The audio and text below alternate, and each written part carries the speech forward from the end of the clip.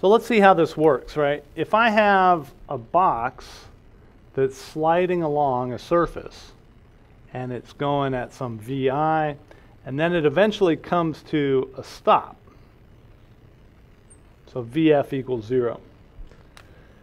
We know that there's got to be some sort of frictional force here that is slowing down the box.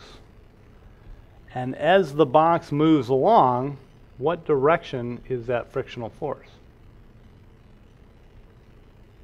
It's got to be to the left. Right? Box is sliding to the right. The force to the left is trying to slow it down. Okay, but we also know that the box moved to the right. So that's our delta x. So what is work? Work is f cosine theta delta x. The f here is frictional force, Fk, cosine of the angle between them, and then delta x. What do I need to put in there for the delta, for the uh, theta? Okay. I need to put in 180 degrees, right? Because delta x is this way, but f is that way. And so the angle between them is in fact 180 degrees. What's the cosine of 180 degrees?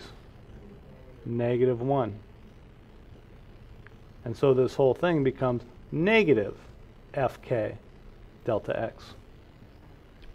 Work due to dissipative forces is negative because the force is always opposite the motion.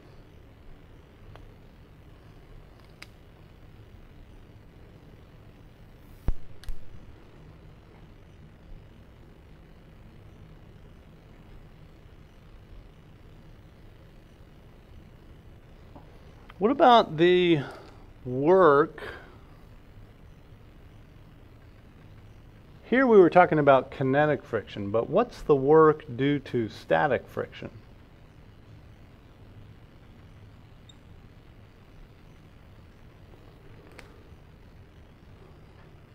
Why don't you guys turn on your mics for a second? Let's have a little chat about this one.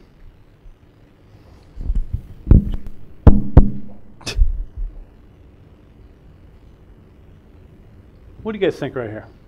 What's the work due to static friction? What are your names? Okay, Alicia and Hannah. What do you guys think?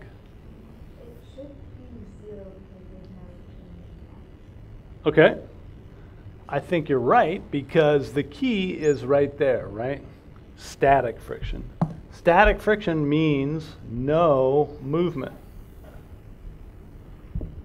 So work is F cosine theta delta x, but delta x is zero. Okay, so static friction cannot do any work. Only kinetic friction can do work. And of course, rolling friction could do work.